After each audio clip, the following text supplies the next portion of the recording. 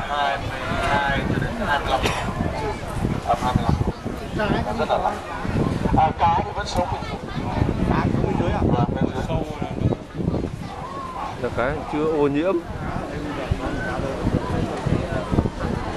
à, cái cái cái tháp đấy mình ờ, nếu mà đi có thời gian là mỗi một cảnh điểm ở Bắc Kinh ấy, mình ít nhất phải đi một ngày mới đi được ở đây mình chỉ đi gọi là cưỡi lượn xem hoa à, chứ còn nếu mà mình đi mà vào 9 thiết được hết khó lắm.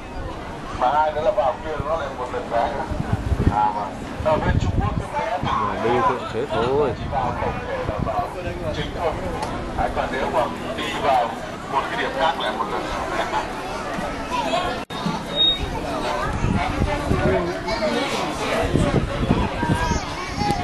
Thank à, you.